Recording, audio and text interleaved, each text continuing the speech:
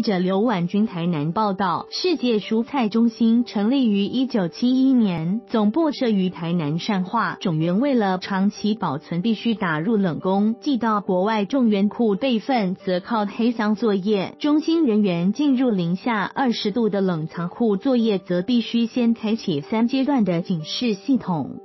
世界蔬菜中心收集来自全球一百五十一个国家四百三十九个物种，约六万个种源，依照中期二十五至五十年或长期五十至一百年储存，设定不同的储存温度。其中，长期储存的温度为零下十五度。种源组作物管理员黄永光笑称，是将种源打入冷宫。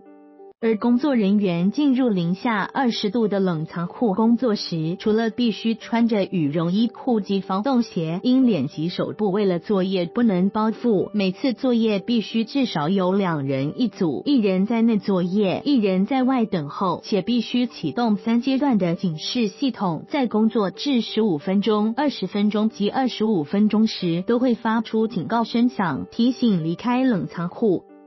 而种源在寄往国外种源库备份时，种子在干燥后装入铝箔袋内后，会装在黑色箱子里运送，并以特殊钉子封箱，也被笑称是黑箱作业。不过，却是关系到人类的粮食安全，对台湾及全世界与世世代代子孙都很重要。未来只有原备份单位可以开启。